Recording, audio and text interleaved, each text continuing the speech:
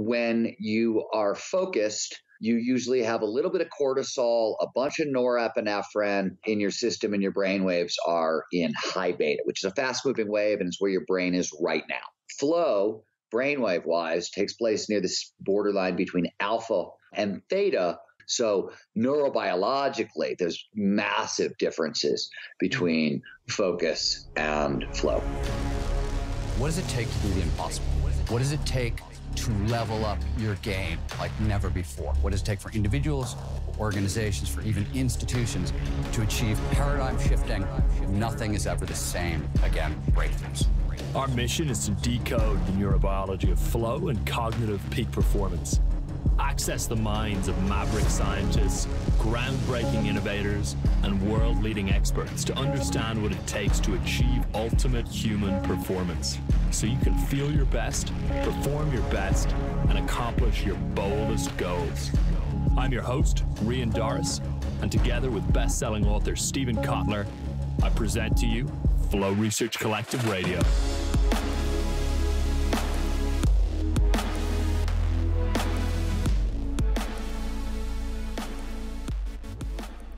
So, Steven, I've been a follower of your work and I've been really passionate about everything that you've been doing. I know a lot about the Flow Genome Project. I've heard you speak, but for our audience, they haven't. So, can you give me kind of a quick summary who you are, how you became such an authority on flow and human performance, and also a little bit about what you've been working on since? I am an author, a journalist. I'm the co founder and director of research for the Flow Genome Project, where I've spent, you know, the past 20 years studying the peak performance state known as flow. And, you know, we at the Flow Genome Project, we're a research and training organization. So on the research side, I think we're the largest open source research project into ultimate human performance in the world. And on the training side, we work with everybody kind of from the US Special Forces through, you know, corporations like Ameritrade or Google to with the to the general public, training people up in peak performance incredible. And I have to ask, I mean, how did you get into this? Because it's such an understudied, I think, or prior to you, it's such an understudied area. You know, I've heard you say that the vast majority of human brilliance and creativity and excellence comes out of these moments of flow. And yet I can't name a third person but besides you and Csikszentmihalyi who are working in, in this field. So how did you get into this path? Well, do you want the childhood story, the teenage story, or the early 20s story, the late 20s story? I ended up on this path three different ways. But let's just say that since I was a little kid, I was obsessed with the question of what does it take to do the impossible, right? What does it take for individuals, organizations, even institutions to level up their game like never before? And, and what does it really take to create kind of paradigm shifting? Nothing is ever the same. Again, breakthroughs. I was obsessed with that. And I've been obsessed with that my entire life. And, you know, around the time, the quick version of this is around the time I was, I turned 30, I got very, very sick. I spent about three years in bed and I managed to cure myself at a time that the doctors didn't think I was ever going to get any better. And my kind of functionality in the world was reduced to less than an hour a day. And the rest of the time I was in extreme pain, lying on a couch and moaning, unable to do anything. And I sort of cured myself using flow states, this, this altered state of consciousness. And, and what, when it sort of happened, I didn't know what the hell was going on, right? I'm a science guy and I was having these very strange altered states of consciousness and they were, you know, curing an illness that was supposedly incurable and it was baffling. And I, you know, I, I thought that maybe the disease had gotten into my brain and that I was just losing my mind. Anyway, I, I lit out on a kind of giant quest to figure out what the hell happened to me. And I quickly discovered that these altered states I was experiencing had a name. We called them flow states. And I also realized that the same kind of experience that got me from seriously subpar back to normal was getting normal people all the way up to Superman and that really caught my attention. And then and it sort of snowballed from there. So that's the very short version of where it came from. Can i ask you what the affliction you were suffering from was? Sure. I had lyme disease. Oh wow. That's a tough one. Yeah. It's interesting because flow i mean so herb benson who did a lot of the kind of foundational work on the neurochemistry of flow he's at harvard he pointed out in a book uh, called The Breakthrough Principle that there's a ton of neuroscience underneath flow. And one of the things that happens is you get pumped full of five performance enhancing neurochemicals. Besides enhancing performance, they actually boost the immune system and reset the nervous system in a really powerful way. And an autoimmune condition, Lyme, is a nervous system gone haywire. So, like, Benson had done the work on the mechanism behind how the hell I, I sort of cured myself. So I stumbled upon that fairly early on too which helped a lot, right? Proved to me that I wasn't crazy and that there was science here and that this stuff could be understood. I think there's a misconception among the general populace that flow is just when you're really focused. And, you know, it, one is the other, but the other isn't the first in the sense that there are some distinct things like flow is a, a unique, in and of itself, psychological state that is far above what's happening when you are paying attention really, really hard. Talk to me about that. I mean, how is this a different state of mind? So, what we call flow, you may call runner's high or being in the zone or being unconscious or the forever box or in the pocket. The, the lingo is sort of endless, but it's a technical term and it defines an optimal state of consciousness where we feel our best and we perform our best. So, first of all, that should differentiate it from focus, right? Mm-hmm. When we're focused, we're focused. We're not feeling our best and performing our best. We might be, but right. More specifically, it refers to those kind of moments of rapt attention and total absorption when focus gets so intense that everything else disappears. Action awareness will merge, your sense of self vanishes, time passes strangely. Five hours will go by in like five seconds, or it'll slow down. You'll get a freeze frame effect, maybe to anybody who's been in a car crash. And throughout, as I mentioned, all aspects of performance go through the roof. So to put this more scientifically, perhaps, when you are focused, you usually have a little bit of cortisol, a bunch of norepinephrine in your system, and your brain waves are in high beta, which is a fast moving wave, and it's where your brain is right now as we're talking, right? Flow, brainwave wise, takes place near this borderline between alpha, which is, you know, a more relaxed state of consciousness, very similar to where you are when you're daydreaming, and theta, which is a deep meditative state of consciousness that only accessible to most people during REM sleep or during the hypnagogic state when you're falling asleep. So eh, there's a different brainwave signature, and neurochemically, uh, stress hormones like norepinephrine and cortisol are mostly flushed out of your system, though you have some norepinephrine still there because it helps sharpen focus, and you're filled with dopamine and anandamide, serotonin, oxytocin, a bunch of other neurochemicals. So neurobiologically, there's massive differences between focus and flow. And so I don't remember the exact percentage that I've heard you say, but the theory is that the vast majority of actual work that's getting done, Olympic medalists, you know, their moment of victory, basically that all the good stuff of humanity happens during flow.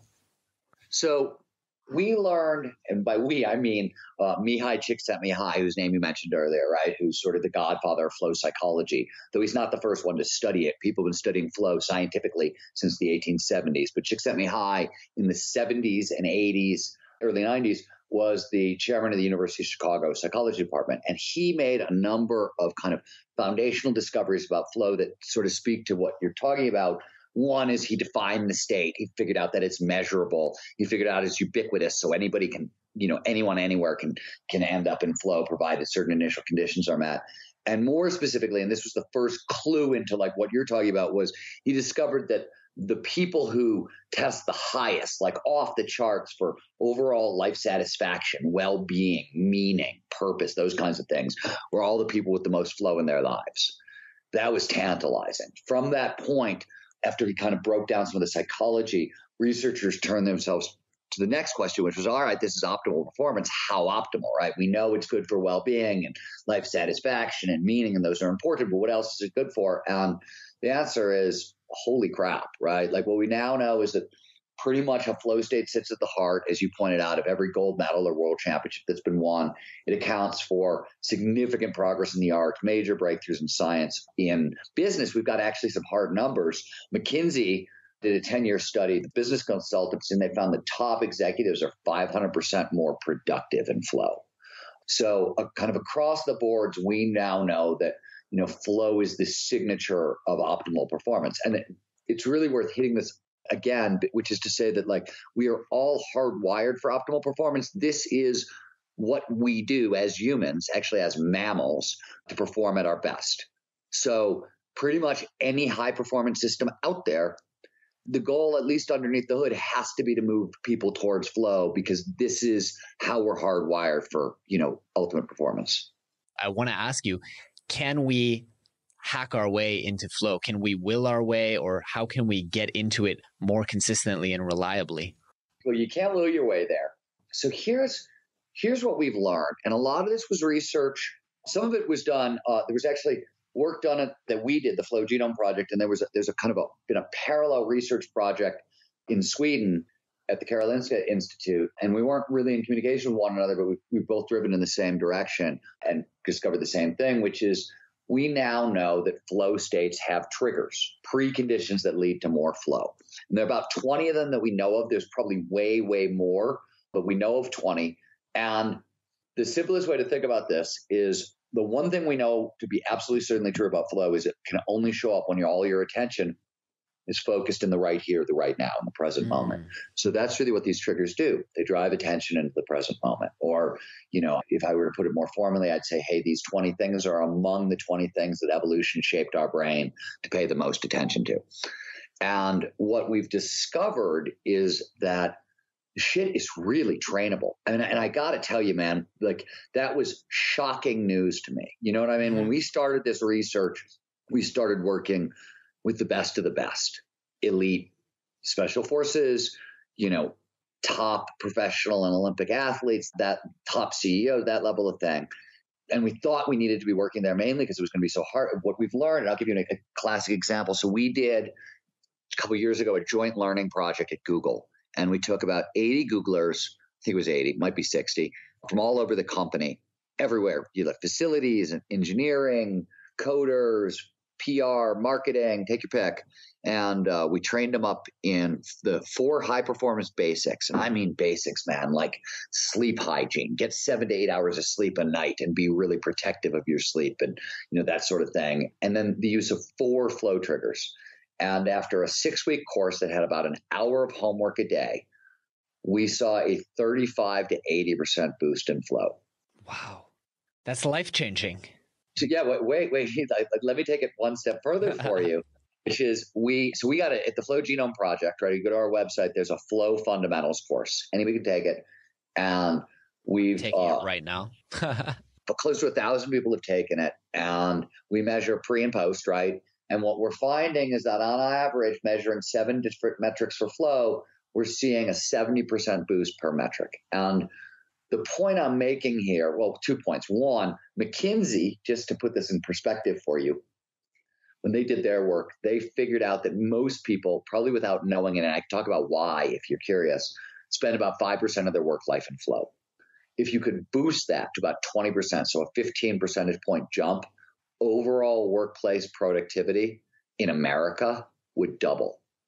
Wow. That's crazy, right? So we got, you know, these huge boosts. And what I want to point out is that it's not entirely, though I'll take some credit, but it's not entirely that our kung fu is so good. It's that this stuff is really easy to train. It's really easy to train. It's funny. I was talking to a friend of mine yesterday who's kind of a neuropsychologist, and we were talking about the same thing that like a lot of what we're discovering about you know high performance is it's not that hard to train you have to do it you have to be diligent about it and it requires it requires sort of living in different ways than we're accustomed to living but it's not crazy difficult and this is not to say that you know anybody who takes this advice can go out and you know swim like michael phelps or you know write books like Tolstoy, right? But everybody can, you know, massively improve their performance with this stuff. That's for sure. This is super incredible. Tell me about some of those triggers that people can be aware of to start optimizing and getting into flow. Well, there's a ton of them, but the place to start is with a Csikszentmihalyi high discovery. One of the most like foundational triggers. It's often called the golden rule of flow, it's the challenge skills balance. Mm. Right? The idea here is that we pay the most attention to the present, right? Most focus in the now when the challenge of the task at hand slightly exceeds our skill set. So you want to stretch but not snap, right? It's a little, little, little boost. And emotionally, I would say that this sort of exists near but not on the midpoint between boredom, not enough stimulation, I'm not paying attention, and anxiety. Whoa, way too much, right? I'm paying way too much attention. In, in between what's known as the flow channel, or if you speak physiology, it's sort of just above the Yerkes Dodson curve. And uh, this is the sweet spot for flow. And what's interesting about this sweet spot is it tends to screw people up on two ways. The first is that if you're shy, a little risk averse, a little anxious, a little neurotic, take your pick. And I'm a lot of those things, by the way. Flow shows up outside your comfort zone. You have to push yourself outside your comfort zone. So you have to get really comfortable with being uncomfortable, but just a little, right? Um, but you have to really do this day after day, week after week, year after year. For top performers, for overachievers, for hyperactive type A's, of which I also fall into that category a little, you will blow past this sweet spot without even noticing it, right? Mm. It's like for reasons that are a little complicated, we think it's about 4%. We think that the right number is when the challenge is about 4% greater than your skill set. So top performers will take on challenges that are 10, 20, 30, 40, 50% greater than their skill set. And as a result, knock themselves way out of the sweet spot for flow. Or you'll see it at work, right? Other people will do it for you. I'll give you a great example that we spend a lot of time talking to people about. So in sales, we'll see people have really get into like deep, deep, deep flow states and you know have really amazing quarters, right? And totally blow their quotas out of the water and really kill it for their companies. And then the boss comes along and says, "Oh, that's fantastic! That's great! Now do it again in half the time, and we're going to double your quota."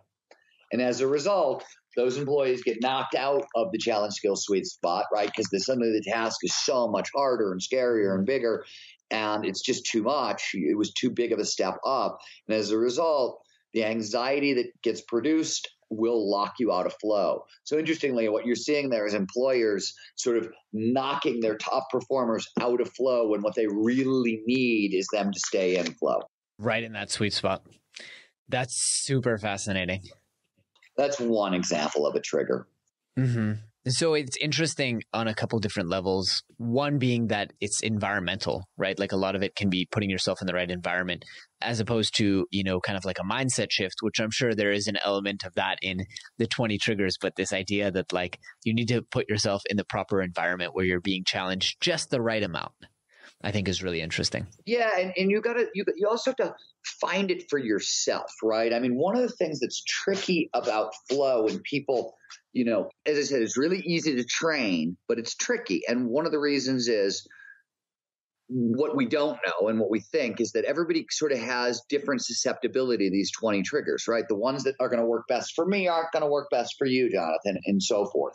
So you have to really conduct the experiments yourself. And for example, in my writing, I have discovered that I'm in that 4% sweet spot when kind of the level of truth I'm telling, if especially, you know, if I'm writing anything that's got anything to do with me, my experiences, my life, the truth I'm telling, the level of it, I'm, I just feel a little exposed. I'm a little mm-hmm. vulnerable. Like I'm showing a little bit more of myself than maybe I, I want to, but that's the secret spot, both for communicating with readers and for, you know, keeping me in flow. One example. Wow. I really, really like that. I've definitely experienced that as well. I do my best writing when it's like, oh, this is this is a little much. Are, are people going to want to read this? How are they going to react? And I also like, or you could get another different way, right? Like I have discovered that as a general rule, I 700 words a day, which is about what I write when I'm working on a book, which is most of the days, is just outside that challenge skills sweet spot. You know what I mean? Like I can get it done, but it's going to take some effort. I'm going to sweat. I can do, you know, 300 words with my eyes closed, 400 words I have to start really kind of paying attention, 500 words, it's getting difficult. 600 words, I had to have a, a, little breakthrough along the way. And 700 words, I maybe needed a couple breakthroughs. Right. Wow. And so 700 words a day, I, it, it actually changes. Like when I'm starting a book, it's 500 words a day. When I'm finishing a book, it's a thousand. When I'm in the middle, it's 700. But I've run those experiments over and over and over and over to figure out, well, what is what is the sweet spot that will consistently produce the most flow, right? And sort of do that. So, like, again, you know, those numbers work for me. They tend to work for a lot of people, by the way. I, you know, in, in teaching writing and flow and things along those lines, we tend to find that those numbers work for a lot of people. They may, you know, maybe 400, 600 and 700, you know what I mean? But slight mm-hmm. different, but that's sort of the, that's sort of the sweet spot. And you'll find if you listen to professional writers talk, you start asking them how much do they produce a day all the answers are going to be in right in that same place and there's probably like a lot of neurobiological reasons for it right super interesting eh, because i'm thinking to myself like yesterday i had a pretty profound flow experience and it had to do with changing my environment and it had to do with shutting off all distractions and a lot of different factors that were different than my normal thing, but I wrote, I think, about 3,000 words. And I'm just wondering, like, am I a binge flower? Because instead of consistently writing, as you said, 700 words, I waited until it was, it had been so long that I did some quality writing that I had to go to a different workspace and surround myself with different people and shut off all my digital devices to binge out these 3,000 words. Couple of things, right? You also, like, I'm just listening to you. So, novelty new environment, right, mm-hmm. is another flow trigger. Brain mm-hmm. loves novelty, totally drives focus, right? Like novelty is a huge, huge, novel environments produce huge spikes in dopamine, one of the brain's principal pleasure drugs, one of the brain's principal focusing drugs, and most important, epinephrine as well. Yep, right? You also get more pattern recognition when you get dopamine and norepinephrine flowing through your system. So you'll find links between ideas. So you you put yourself into a environment that was sort of packed with flow triggers. And also, I mean, by the way, when I work with organizations, very first thing I tell them is, hey, if you can't put a sign on your door that says off, I'm flowing, you're screwed. Because what right. the research shows is that flow requires 90 to 120 minutes of uninterrupted space for concentration. And Tim Ferriss, he argues that, and I think he's right on this, that if you're doing something really hard and creative, you know, 90 to 120 minutes is sort of what you need daily. And then a couple times a week, you're going to need four or five hours of, exactly. of block, right? Exactly. And I think that, I think those are very true, but like, you know, so, you know, if you work for an organization that makes you respond to messages in 15 minutes or email in an hour, or you tend to do that kind of stuff, Mm-hmm. It's a disaster. I mean, it's exactly. It's, you know, I get up at you know three thirty in the morning, four o'clock in the morning every day to start writing, and one of the reasons I do it is the phone doesn't ring. My phones are turned off. My emails turned off. There's no social media. You know what I mean? It's pitch mm-hmm. black. The only thing I see is the computer screen. even there, I use focus view, so I literally only see the page I'm working on. There's nothing else in my universe, right? And you know, I've got sometimes I'll pull darken all the windows so I don't have to see the sun come. You know what I mean? So I I don't know, so I can stay in that space a little bit longer. People love to claim that they can multitask really well, or they love to claim that ah, it's just a little notification that pops up, and you know I'm not actually going to reply to the message. I just like to know there's no emergencies. So they have these little notifications that pop up on their screen, you know, the emails, the whatever. And I've found, and, I, am pretty confident you found as well, that I cannot get into flow even if I'm not engaging with those messages, just having them pop into my field of view, it's too tempting. And then you go hours and hours trying to write, breaking your concentration every 10 minutes, you know? There's three things on that one. One, we know, well, we don't know on everybody, I guess, but we know from studies done on coders, and maybe it varies career to career, but with coders, when they get knocked out of flow, it takes them about 15 minutes to get back in on average. Mm-hmm. So if you're in flow and one of those messages pops up and it's enough to knock you out, and I'll talk about why that will happen in half a second, you've just cost yourself. I mean, think about it this way if you're 500% more productive in flow and you have a three hour work window to get something done, think about how much work that 15 minute knockout just cost you. That's exactly. insane. From one non critical message let me put it a different way. So the biggest thing you mentioned it, you like so anxiety, which is essentially norepinephrine, is a really funny drug, right? A little bit of it, it's a great focusing drug. It's fantastic. It feels like excitement, drives performance, drives curiosity. It's great. Too much of it, total anxiety. The problem is that the higher up that scale you move, while your ability to focus may increase, your ability to be creative decreases. And the reason why is norepinephrine sort of shuts down the ability for the pattern recognition system to make far flung connections between ideas. The more fear in the system, the more familiar your thoughts are going to be. And, you know, the extreme version of this is fight or flight, right? Where you are faced with extreme fear and you've got two options, right? So, and th- this is neurobiological. And so if one of those little messages pops up and it's got some little bit of emotional tag for you, right? Like it's something that there's emotions involved, whatever, that could produce norepinephrine and knock you out of the sweet spot and suddenly you're not getting back into flow at all. And and more importantly, because we're all so unbelievably crunched for time and we feel time pressure all the time, you may not be paying attention to those alerts, but your brain is going, oh, yeah, I got to respond to that. Oh, yeah, I got to respond to that. Oh, yeah, I got to respond to that. And it's doing two things. One, it's trying to save energy for later when you have to respond to those things. And two, it's making you more anxious. So you're saving energy. So suddenly you have less energy going into what you're doing right now. And you've put more anxiety into the system. So you're no longer in the sweet spot for flow. And you've knocked yourself out of the state for about 15 minutes minimum. High, high, high consequences. And you know, I mean, this is my buddy Clifford Nass's work at, at Stanford. Nobody multitasks. It's absolute bullshit. Right. Your brain is not built, it's a serial processing machine. It can process in parallel on a lot of levels, but when you, you're talking about conscious attention, it's a serial processing machine.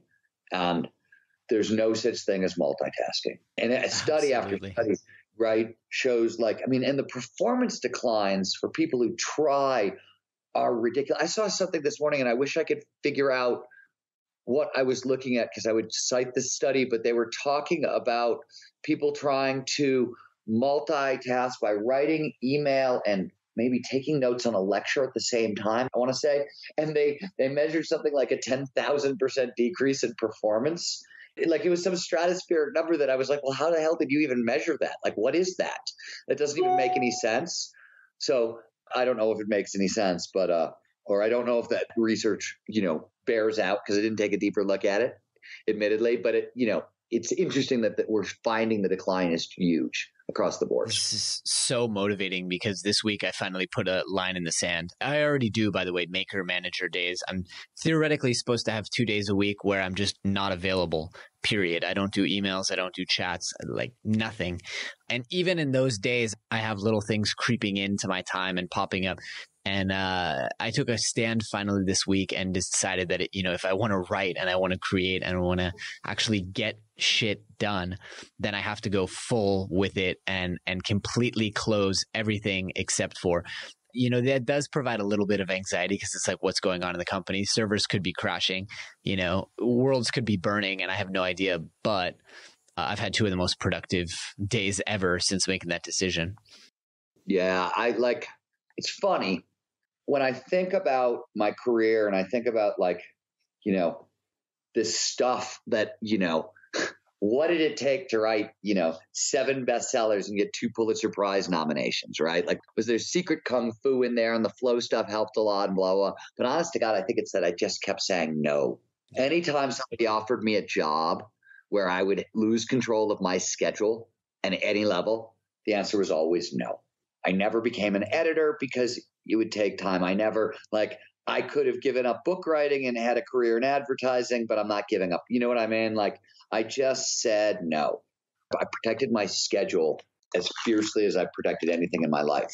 You know, I preach that, and yet somehow it creeps up on you and you you make so much time and you're like oh well i have time i could volunteer and do this and do that and i could answer a couple customer emails here and there and then it just creeps up and it, it snowballs it really is i found as you said, a black and a white, like just no.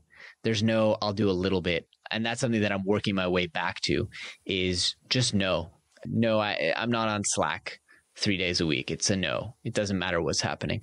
So I really love that. And that's a reminder, kind of driving home something that I'm working on myself.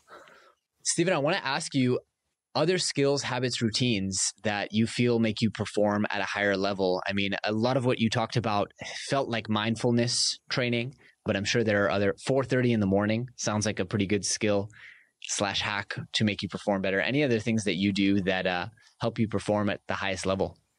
Well, I mean, the most important thing I do that helps me perform at the highest levels, I hurl myself down mountains at high speeds as often as possible because I'm an action sports fanatic. So, and speed is the ultimate gateway into flow for me. So I try to have, you know, a confrontation with mortality at high speeds at least once or twice a week. Oh, wow. Because it, it really, you know, it really keeps my head dialed in. So, I mean, you know, not for everybody, but, uh, you know, risk is a big trigger for obvious reasons. Doesn't have to be physical risk. I happen to really like physical risk, emotional, psychological, social, intellectual, all those things work as well. But I use physical risk all the time and I really like it. And how are you carrying that forward? After you get off the mountain, do you then go and write? Or is it the other way around? Or is that different days?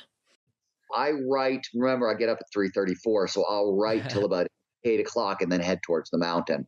And when I come home, I try to do nothing. I try to keep my brain shut down. And I have, I, you know, I have a very active recovery practice that involves, you know, saunas and breath work in the saunas and then, then a handful of other things. And so I'm a big believer in active recovery as well. And um, I've also broken a lot of bones. So I tend to have to ice my body after I wow. ski.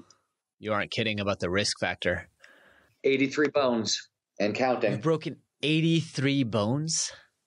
You have to understand that I spent the first six, seven years of my career chasing professional athletes around mountains.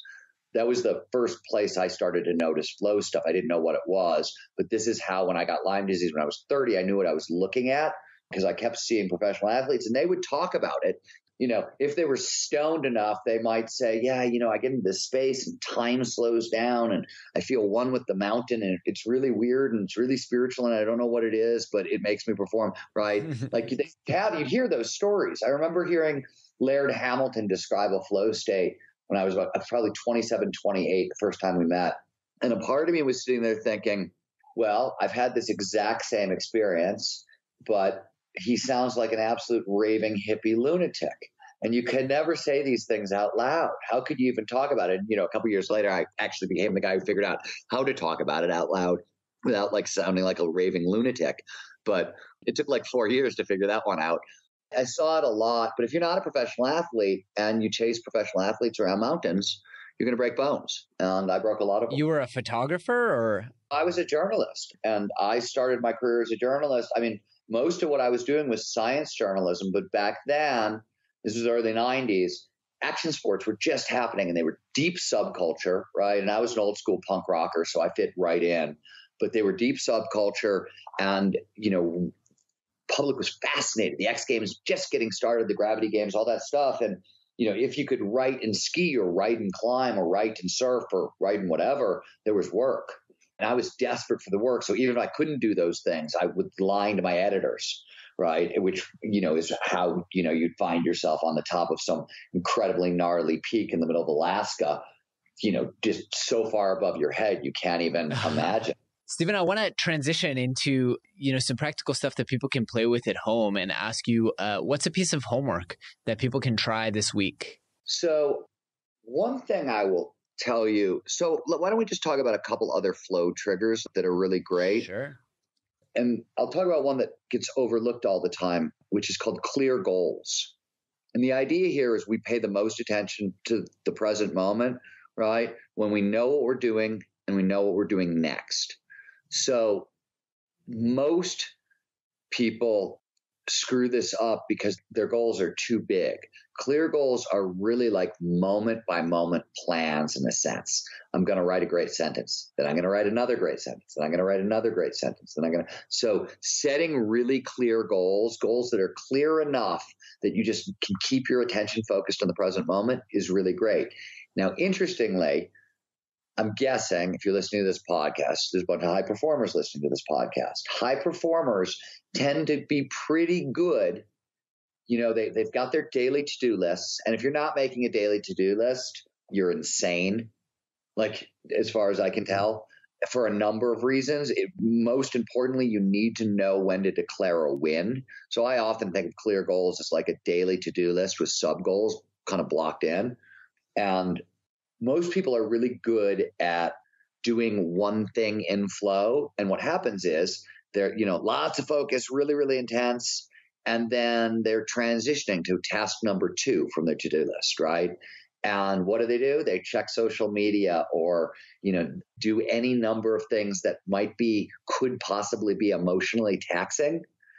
And mm-hmm. if instead of doing that stuff, if you take your two minute break and do three sun salutations, or you do two minutes of breath of fire, and then go right back into your work without doing anything that could pull your focus out of the present moment mm-hmm. in any way, right? Emotionally, and just go right into your next clear goal. You're going to carry your kind of low grade flow state from one task to another, and you're going to start to deepen it along the way.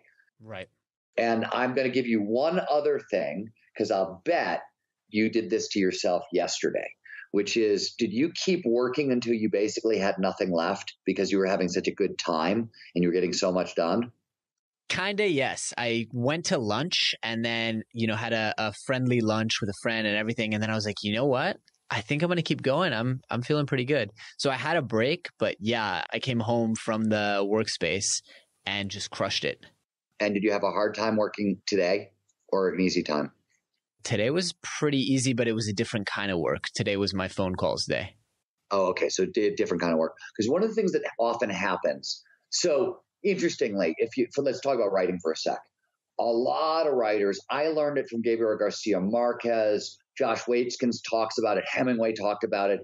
But they all say when you're doing a work session or a writing session, I, I think it's any work session, it's a long project, right? Mm-hmm. And you've gotten into a flow state, it's going really, really well. Quit when you're most excited. Interesting. And the reason is twofold. One, the hardest thing to do is to get back into flow when you're starting cold, right? So you need to stack motivations, right? You need a lot of stuff that's going to drive focus into the present moment, right? And if you left off when you were excited, you will bring that excitement to the next day's work, right? So, what is more important to understand is the neurochemistry here. So, we talked about norepinephrine and dopamine as the brain's principal focusing chemicals, and they're big flow drivers, right? Turns out they're also very short lived chemicals. You can only have sort of maximum saturation of those chemicals for about 20 minutes. This is why TED Talks are 20 minutes long, because most of us can really pay peak attention for about 20 minutes. Or this is also why, and once those neurochemicals are gone, by the way, it takes a while for the supply to, to reboot, right? You need minerals and vitamins and food and sunshine and a bunch of crap. Um, so it takes a little while so you've all had this experience. You've seen like a james bond movie where there's lots of explosions lots of things grabbing hold of your attention exciting fun and about half an hour into the movie you're exhausted right? And you've got another hour and a half to sit through. That's because you've used up all your norepinephrine and dopamine because all that excitement has claimed it from you right? So when you're deep in flow you're using up a lot of norepinephrine and dopamine. By the time you notice, right, oh my God, this is amazing, this is great, you have probably gone through a bunch of your supply. So by fighting for those extra kind of hour of work on the back end, what you're doing is you're taxing the last of your resources and it's going to be harder to do it the next day. Wow. That's really interesting. So you should almost plan your weekends. I mean, I guess it, it kind of lends credit to what I'm doing, which is I break up my writing days. So I have a calls and recordings day in between. where I don't really need to be as creative. It's just, you know, ticking off emails and ticking off things in Asana. Yeah. So what I have noticed, for example, is on a, the day after I say go skiing, right, or go mountain biking or whatever, that's going to be usually going to be a really great flow state for me the morning after because I've had flow the night before, and you know, creative flow tends to follow fairly quickly. And uh, Teresa Amabile at Harvard discovered that the heightened creativity you get in a flow state will outlast the flow state by a day, sometimes two. And it's a big boost. It's like 400 to 700% boost in creativity in flow. Wow. So huge spike. Yeah, huge, huge spike. So I, I'll use that heightened creativity. But the day after that, I know I'm going to be like, I had a big flow state while skiing. I had another one while writing. I know I'm going to not be able to produce a whole lot. I just know. Mm. So I may ask myself under those conditions to produce 400 words instead of 700 words. And that's exactly, I'll do the same thing as you. I'll schedule, you know, all the stuff I have to do for PR or marketing or phone calls or podcasts or, you know, I'll, you know, record my TV shows or whatever. That stuff will get done then. Brilliant. Because I actually did want to ask you, you know, as, as we talked about getting into flow state, you know, I think the obvious question is like, what's the limit? Can I really spend eight hours in flow? Can I really do it every single day? So, like, what's a good goal now that we know that you can't spend unlimited time in flow? Like, what's a good, reasonable goal for people to try, you know, hours per day, days per week? So, to one data point before I can answer that question flow is a spectrum experience. It's like any emotion, right? Mm. Anger, a little irked, homicidally murderous, same emotion. Flows the same way. we know so the state has seven core characteristics. I listed them uninterrupted concentration in the present moment, the vanishing of self, time dilation, time passing strangely, a couple others. These are the characteristics of flow. They show up in most every flow state. You can have microflow where a couple of those things show up, or where all of them show up but really at a low level. So this is what happens when you sit down to write that quickie email and you look up an hour later and you realize you've written an entire essay right? And maybe you mm-hmm. forgot what your body felt like along the way, and you're like, oh my God, look what I've written, and ah, wow, do I have to take a piss, right? That experience, that's micro flow. Macro flow, which is the other extreme, right? When all the characters show up at once, feels like, you know, to many, a full blown mystical experience. In fact, for the first 70 years that scientists, scientists were looking at this state, they thought it was a spiritual experience. They thought it was a mystical experience. They thought only religious and spiritual people could get it. And it wasn't until Abraham Maslow discovered flow in a study group packed with atheists in the 50s that this idea that idea went away. But uh, you can have two, three micro flow states a day, right? You won't stay in them perpetually, but like if you get good at this on a good day, you might two, two, maybe three, but like that's after years of working at this stuff, right? What starts happening really quickly though is that you start finding those microflow states show up more frequently and more frequently. And more importantly, the more you work with this stuff, the time between flow states can shrink. But you can't live in flow. It's kind of neurobiologically impossible. you know, or, you know, if you do live in flow, we have a different term for it. We call it schizophrenia, right? So and that doesn't tend to work so well. We have a mania as well. So that you know there are right. there's a limit, and more importantly, and this is really critical because I don't. So many people miss this point. The information, the real information, right? I mean, like what Flow is great for is yes, it massively apps up performance, but it really dials up insight that's that you know creativity insight that kind of inspiration those kinds of things go through the roof and that's fantastic. But the information is really rich because it is different from daily life. It's in the difference, right? The pleasure of a flow state isn't the fact that, oh my God, it doesn't feel like normal life, right? That's mm-hmm. one of the reasons it's so amazing and it works. But you want both. And in fact, I will tell you so often what happens in a flow state, flow is what happens when you're you've learned a bunch of stuff consciously and suddenly your subconscious knows it well enough that it can do it automatically at a better than you could do it consciously. And usually like it's a number of skills coming together at once right? And mm-hmm. what happens is that you get this view of oh my god look at how good i can be in a state of peak performance. And then you'll spend 3 months 6 months a year two years, whatever, learning, training yourself up sort of to get to be able to do that under normal conditions. And that's in a sense, the, the technical term for this is the high perch experience. You sort of see the next vista of possibility. I can go this far. The error a lot of people make, and there's there's neurobiological reasons for this, is they think that they're going to be able to pull it off in like a week or two, and they come back down and you know they realize that like it's a much longer stretch. But I, at the end of it, there's a there's a day when you usually can pull off all the stuff you just pulled off in flow out of flow, and it feels terrible. It's totally unpleasant, but it feels right. like so much victory. It is such a victorious day.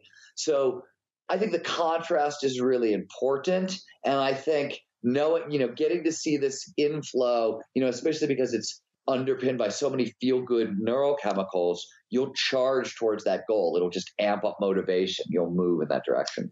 If people take away just one message from this and they're able to remember it and carry it with them for the rest of their lives, what would you hope for that one to be? I don't have one message. That's the that's the real that's the real point. There that's a message in and of itself, I suppose, right? Like, honest to God, and th- Jonathan, I don't mean to jump down your throat on this one, but like, everybody wants it. What are the three things I can do Monday morning that change? My- Shut the f- up. Seriously, this is life. You get one shot at this. That's what. What do we know for sure? Is you get one shot at this life, and you're going to spend a third of it asleep right? So what you do with the other two thirds is the only question that matters. And you don't want three things you can do Monday morning. You want to do it Monday, Tuesday, Wednesday, Thursday, Friday. You know what I mean? You want to do it every day for the rest of your life because you may never get to have this particular ro- roller coaster ride again. If what you've heard on Flow Research Collective Radio has been helpful, please consider doing us a solid and leaving us a review on Apple Podcasts, Spotify, or wherever you are listening to this. Reviews help us connect to a wider audience so we can get these peak performance principles out to more people.